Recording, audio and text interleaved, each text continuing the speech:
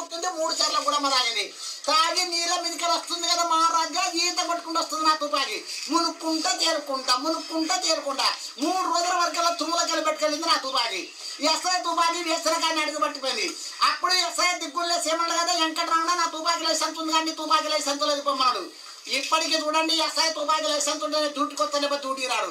నా తుపాకి బుధాన్ని పెట్టుకొని బజారు పెట్టుకొస్తుంటే ముఖ్యమంత్రులు కానీ ప్రధానమంత్రులు కానీ రాజీవ్ గాంధీ కానీ డిఎస్లు కానీ కలెక్టర్లు కానీ విరిచిమిటలు కానీ లైసెన్స్ అడిగే మానవులు నా తుపాకి బుధాన్ని పెట్టుకొని పోతుంటే వచ్చే వెంకటరావు తుపాకి అంటే కానిస్టేబుల్ తుపాకుల సంఖ్య పెట్టుకొని పోవాలి మహారాజా.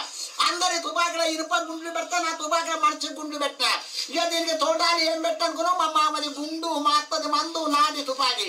మొన్న దుప్పిని వార్త గచ్చిపోయింది నెగ్గాలు కొడితే ఏట్ల గచ్చిపోయింది మొన్న పెద్ద పెళ్ళి ఎదురుకాల వల్ల ఊర్ల బిస్కలు కొడితే పరకాల్లో కోమట్ల వాడకొచ్చి పడ్డది నీ ఊర్ల బిస్క పాడగలట్టే కోమట్ల ఓచురు బ్రాహ్మణులు పోవులు ఎత్తురు సాకులు పేగులు ఎదురు మంగళులు మొక్కలు నరుకురు దూదెక్కులు ఓటాలు వచ్చేసారు మాంసం అంటే మాంసం ఊరి నిండా మాంసమే ఊరి నిండా మాంసమే.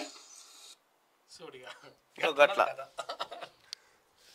ఇగో గిట్లా. ఇక ఈయన మాటలకు ఈయన మాటలకు ఏమైనా తేడా ఉందా? నేను పంటలకు మద్దతు ధర ఇప్పించే పని ప్రారంభం చేయాలి.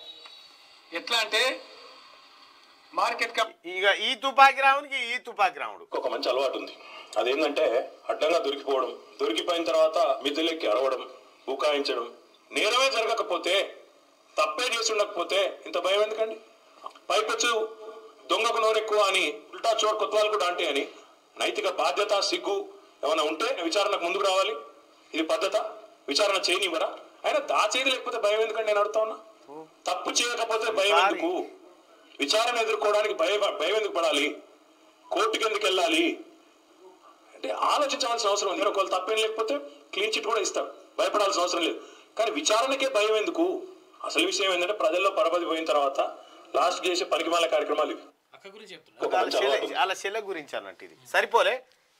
ఇట్లుంటది అన్నట్టు వీళ్ళతోటి.